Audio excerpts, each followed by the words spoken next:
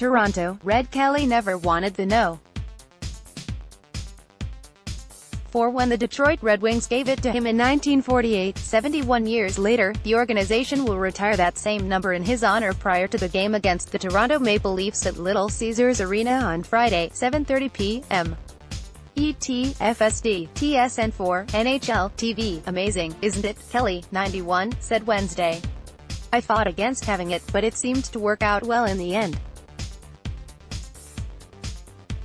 Very well. Related, Red Kelly, 100 greatest NHL players, the Red Wings are the second team to ensure no one ever wears Kelly's no. 4. The Maple Leafs retired that number on October 13, 2016 in tribute to both Kelly and forward Hap Day. It's nice that they are doing this on a night both those teams are playing against each other, Kelly said. All for a number I was reluctant to get. Kelly came to Red Wings training camp as a 20-year-old with no expectations in 1947 and was surprised when he was kept on as the team's fifth defenseman. He was given number 20, a number he said he was comfortable with. Various injuries to his teammates allowed Kelly to move into the top four midway through the season. He responded by getting 20 points, 6 goals, 14 assists, in 60 games while showcasing his skill as a shutdown defenseman. With his role having increased during the course of his rookie season, management figured his number should change, too. When he showed up for training camp in 1948, I came back and they gave me no. 4, Kelly said. I kind of complained about it.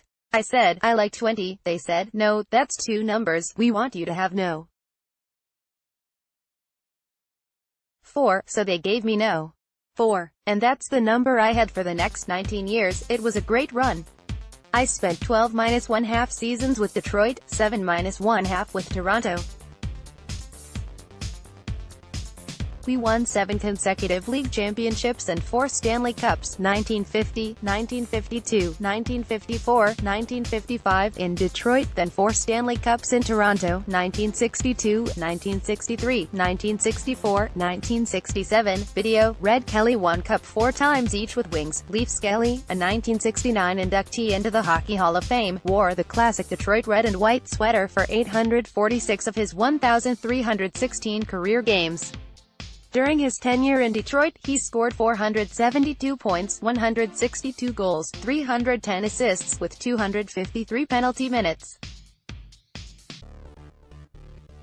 Kelly, who was the first recipient of the James Norris Memorial Trophy as the NHL's outstanding defenseman when he won it in 1954, was traded to Toronto in 1960, where he switched to forward.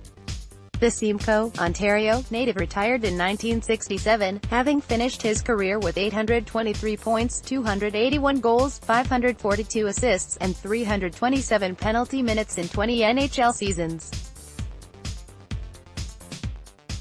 Asked what it will be like to see his banner dangle from the arena rafters in the company of those belonging to former teammates Ted Lindsay and Gordie Howe, Kelly laughed, we won four cups together, he said. They were special players. Health issues have hindered Kelly recently but he is steadfast that he'll do everything in his power to attend the ceremony. Plans are for him to be accompanied by wife Andrea and at least three of their four children as part of a large entourage of family and friends. I'm not in the best of shape, Kelly said. My legs have kind of given out on me. It's a struggle for me to be there. But I'm going to be there if I can. This whole thing came out of nowhere. When the Red Wings owners Chris and Marian Ilitch called me on the phone in October and told me they wanted to do this, I was speechless for a while. It's a great honor, of course, with his two former teams facing off against each other after his banner has been raised. The question becomes, who will he be cheering for once the puck drops, the Red Wings or Maple Leafs? I just hope it's a good hockey game, Kelly said with a chuckle. Whoever wins, wins. If it's a good game I'll be cheering for both hockey teams, just like the fans inside Little Caesars Arena will be cheering for him.